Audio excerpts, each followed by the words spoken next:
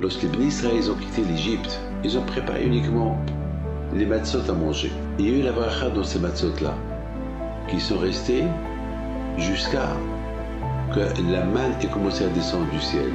Pourquoi Kashvaohu, d'un côté, il leur a pas donné le manger qui descend du ciel tout de suite en sortant de l'Égypte?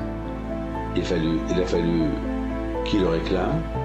De l'autre côté, pourquoi Kashmir ne leur a pas donné le temps, une semaine avant la sortie d'Égypte, de préparer des provisions? À Kashmir, il a voulu que les Bénisraël, ils apprennent deux choses. Les provisions, les vraies provisions, c'est la Torah. Vous sortez pour se préparer pour la Torah.